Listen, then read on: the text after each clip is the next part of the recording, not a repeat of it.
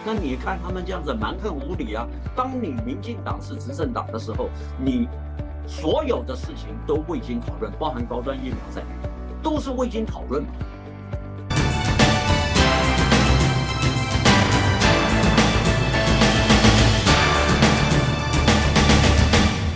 各位观众，大家好，我是有话直说的主讲人曾友华。五月九号，韩国瑜当场发飙，那。柯建明也当场怒飙，他们就为了党政协商，连韩国瑜啊讲的一段话。韩国瑜说，未来党政协商是不是各位党团的重要成员，就是干事长、啊副总召、总召这三个席位，你来参加党政协商的时候，能不能长话短说，一个人限制三分钟？结果呢，柯建明就发飙。你不能限制我的发言，就是说，民进党认为我们表决输了，那就输了嘛，你不能限制我的发言嘛，不能够学国民党一样的嘛，讨论都不讨论，也不让我们发言，就直接提上会动议。这个是柯建明的态度。柯建明昨天是彪骂了韩国瑜跟周恩来，他说周恩来不要老是在那边出主意。然后立很多条条框框的，哎，柯建明这个就显示啊，我立委最大啊，我高兴干嘛我就干嘛。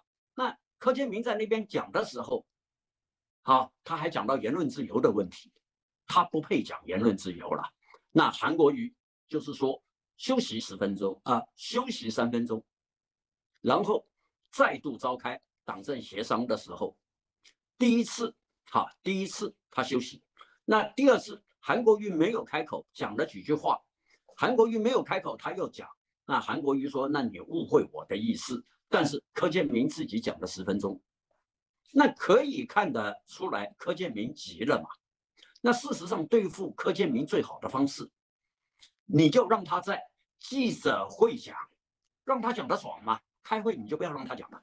我跟你讲，对付柯建明，我那我就有一套。就是说，叫他自己开那个记者会啊！你你要讲十分钟、二十分钟、三十分钟，甚至一天，我都随你。但是在会议现场，你就干脆直接封杀他，你就干脆直接封杀他。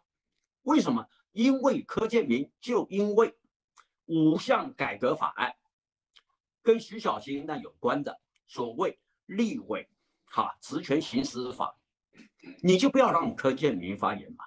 只要提到民进党的版本，你就封杀嘛，你就表决嘛，就是表决散会嘛，不不要让他讲一句话嘛。对付这种人，只有用这种方式。为什么？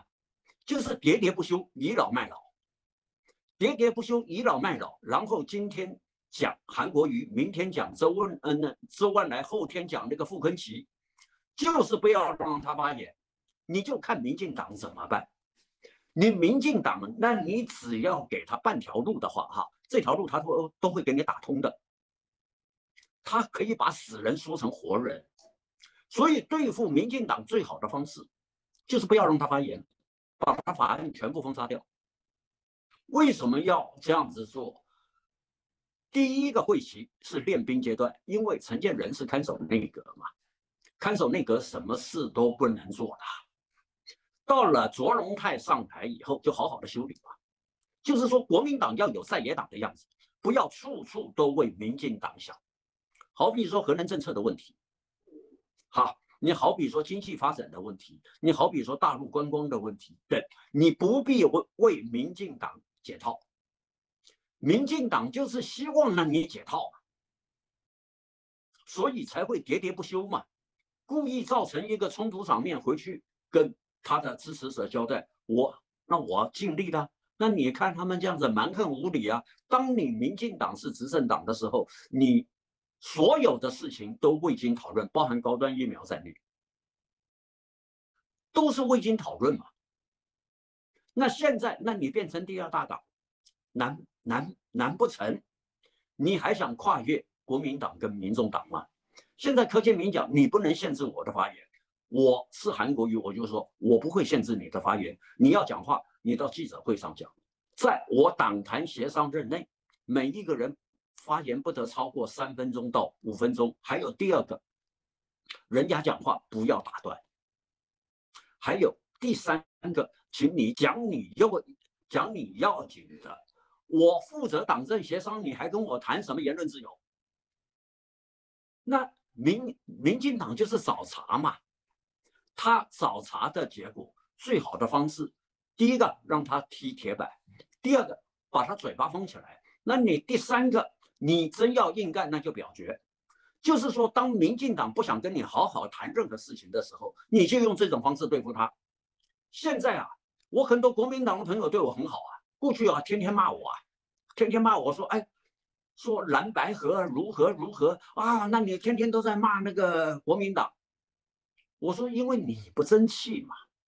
我说你生气不如争气嘛。哎，现在他们对我很好啊，说哦，那你教我们对付民进党的方式真的是很好用。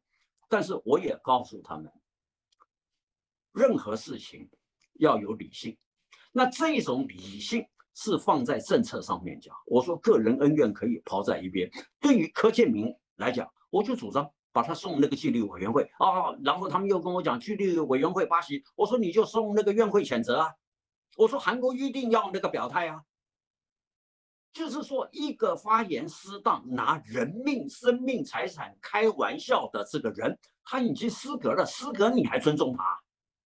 甚至于那你们国民党应该这样子讲，不管如何，只要柯建明在场，我不跟你协商。就逼着赖清德，逼着民进党非要处理这个问题嘛，不然的话，他天天调侃别人嘛，对不对？